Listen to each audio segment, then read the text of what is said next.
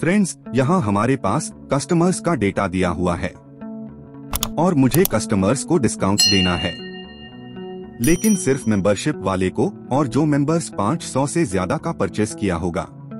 तो आज के इस वीडियो में एंड फ़ंक्शन का यूज़ करते हैं। वीडियो को ध्यान से देखना।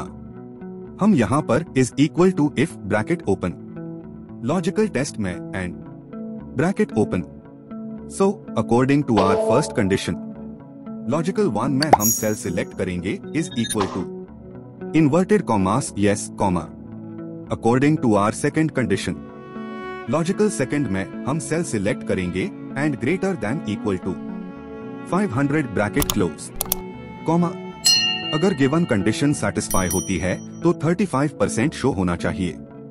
इसलिए इन्वर्टेड कॉमास 35 परसेंट लिखेंगे। कॉमा, अगर गिवन कंडीशन सेटिस्फाई नहीं होती है तो नो डिस्काउंट शो होना चाहिए। इसलिए इन्वर्टेड कॉमास में no discount bracket close and enter and it's done जिस भी कस्टमर की मेंबरशिप है एंड उन्होंने 500 से ज़्यादा का शॉपिंग किया, उन्हें 35 परसेंट डिस्काउंट मिलेगा।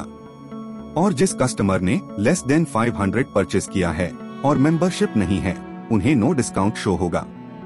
डेटा चेंज करके देखते हैं।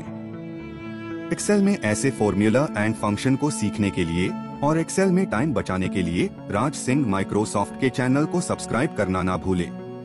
वीडियो को लाइक करें और हाँ वीडियो को ज़्यादा से ज़्यादा लोगों तक शेयर करें जिसे उन्हें भी ये सीखने मिले।